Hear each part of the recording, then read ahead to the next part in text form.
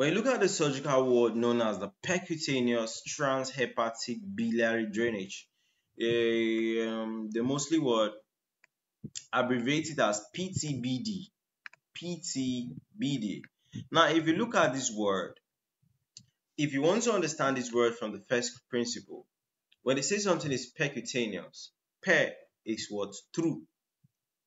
Cutaneous is skin. So percutaneous is through the skin. Transhepatic, you are talking about what? The bile ducts. Drainage, you are trying to what? Drain bile or something.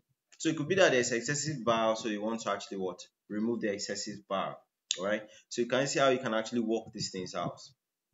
So the overview, we said that this percutaneous transhepatic biliary drainage is a minimally invasive procedure which is used to drain bile from the liver when the bile ducts are actually blocked. Okay, so indications um, if there's obstructive jaundice, if there's cholangitis, there's bile duct infection, there's bile duct stones, there's tumors.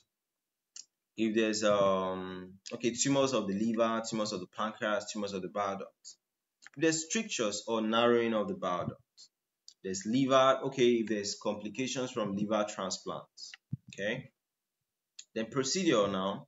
I've told you guys, all right, you're actually moving through the skin, all right? So from the skin, you are accessing what? The bile duct to drain out the excessive bile, right? So you could do things like what? Preparation where you do imaging studies just to confirm that, okay, there's actually excessive bile in this patient, right? The anesthesia because you are you are invading the patient, although it's minimally invasive, it is still be painful, right? Then insertion is when a needle is inserted through the skin into the liver's bile duct under the imaging guidance.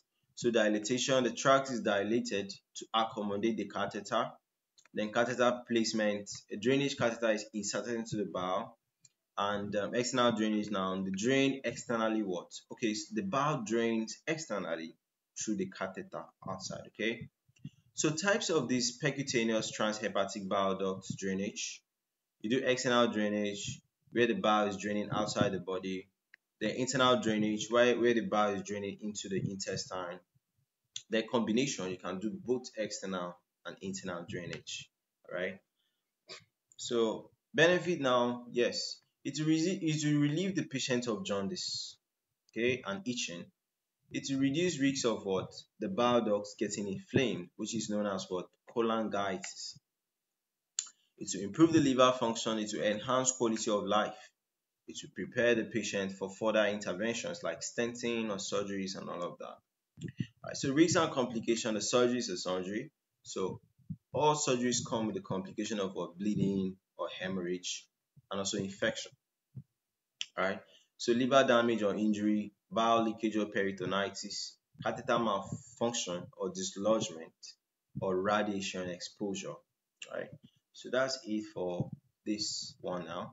See you guys.